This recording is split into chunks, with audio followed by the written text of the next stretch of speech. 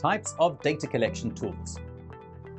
Data collection is the process of gathering data and evaluating it systematically to obtain insights that solve business challenges and overcome them. The success of any research depends solely on the data which drives it. Thus, even though there are multiple data collection tools available, picking the right one for your scenario is essential. Let's evaluate and find out where best to use the four different types of data collection tools, which are interviews. Interviews are a method of collecting data where participants engage in face-to-face -face interactions with an interviewer and their inputs get recorded. Interviews help to obtain more profound knowledge about why respondents have given the said answers. Moreover, they provide an opportunity for stakeholders to interpret complex audience behavior, their experiences, and their opinions.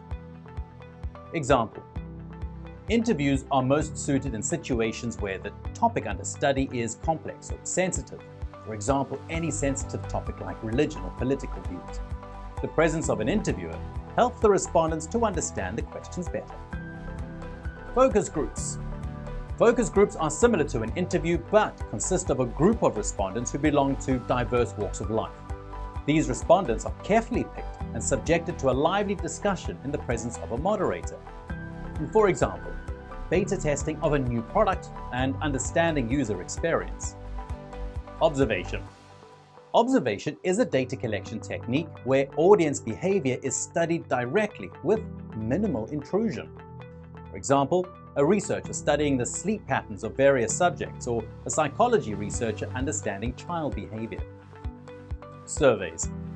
Surveys are one of the most popular data collection tools which collect data from subjects through various sources like emails, social media, text messages, and like.